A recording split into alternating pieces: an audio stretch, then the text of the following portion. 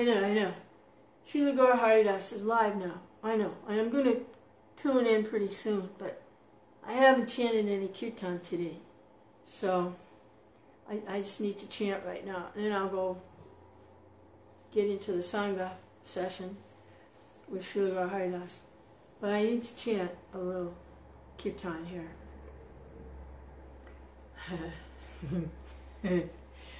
oh, God. All right. Let me turn the, get the uh, musicians going oh, my God. All right, here we go. Ah.